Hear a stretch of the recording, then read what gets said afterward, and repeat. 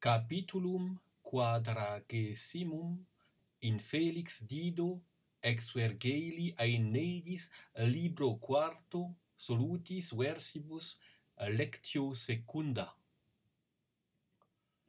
Nuntius de orum Jupiter vero ubi aec audivit Mercurium sic alloquitur et haec mandat age vade fili, et defer mea dicta per auras, ad ducern Dardanium, qui nunc dard Cartagine moratur, neque fatorum promissa respicit. Non ideo genetrix purcerrima illum ad armis graiorum bis servavit, sed ut Italiam regeret, et posteri eius Romani totum urbem sub leges sub icerent. Si ipse tantarum rerum gloria non acentitur, num Ascanio filio pater regnum invidet, quid struit, anquas pe ingente inimica moratur naviget hoc est mandatum nostrum. A mercurius statim patris imperio paret.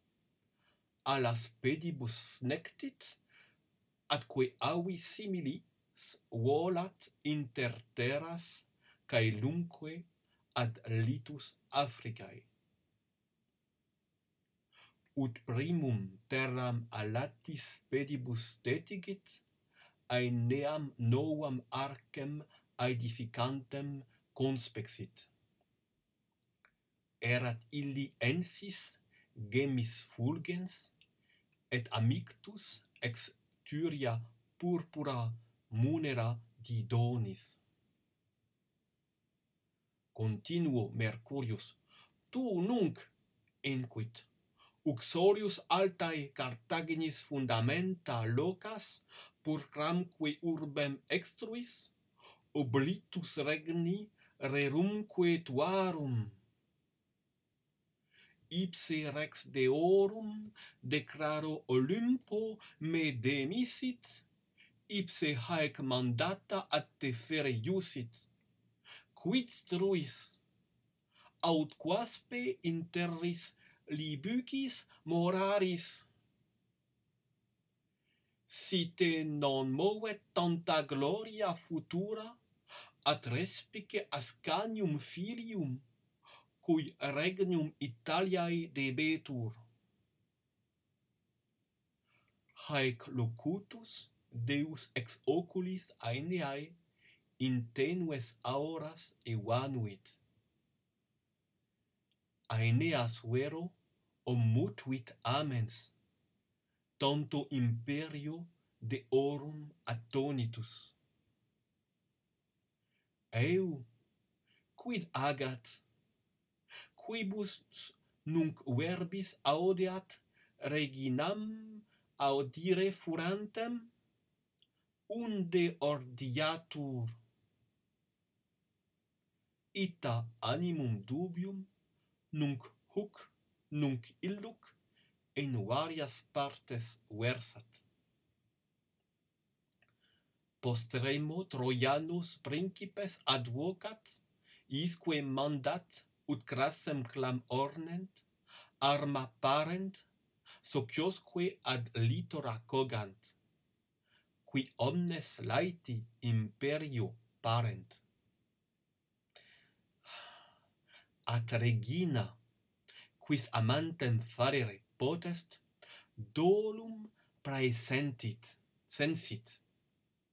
Namque fama eidetulit, armari classem cursumque parari. Saeva ua atque amens aeneam his verbis appellat. Quid sperasne perfide ospes te tantum nefas dissimulare posse, et mea terra cram decedere? Ergeo nec noster amor, nec dextra data te tenet, nec dido cruderiter moritura? Quin etiam iberno tempore crassem ornas, et per medios aquilones navigare properas? Mene fugis? Ego per has lacrimas, per dextram tuam, per coniubium nostrum te oro. Si quid bene de te merui, aut si tibi dulce fuit quidquam meum, miserere mei, et muta istamentem. Propter te gentes libuae me oderunt, atqui turimi infensi sunt, propter te pudorem et famam extinsi? Cui me moribundam deseris, quid moror, andum frater Pygmalion mea moenia destruat, aut iarbas, rex gaiturorum captam me abducat? Si saltem infantem de te aberem, si qui parvulus aeneas in aula mea luderet, qui memoriam tui referet, non omnino deserta viderer. dum illa loquitur aeneas curam suam diligenter dissimulabat nec oculos demisit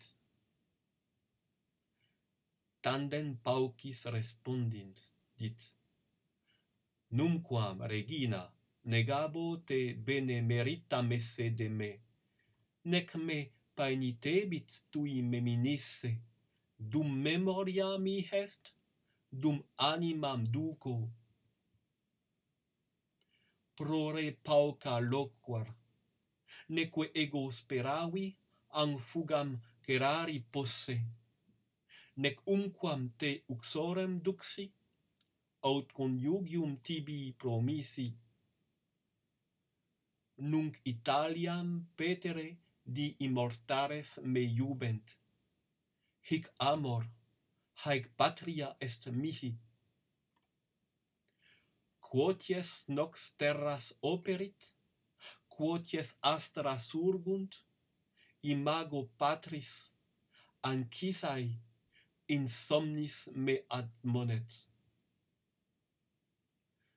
Nunc etiam nuntius deorum ad ipso Iove missus mandata ad me detulit, ipse Deum in claro lumine vidi, muros intrantem, vocemque eius his auribus audivi. Desine querellis tuis, et me et te incendere. Non me asponte Italiam peto. Eum talia dicentem, dido aversa intuetur, huc illuc volvens, oculos, et sic ira acensa fatur. Non est tibi divina parens perfide, sed dura saxa te genuerunt, tigresque ubera tibi admoverunt. In litus ejectum egentem te excepi, et demens partem regni dedi, classem amissam restitui, socios a morte servavi. Nung di te abire jubent, itane vero? Putasne eam rem dis superis curae esse? Neque te teneo, neque dictatua refeldo. I, pete, regnum Italiae per undas.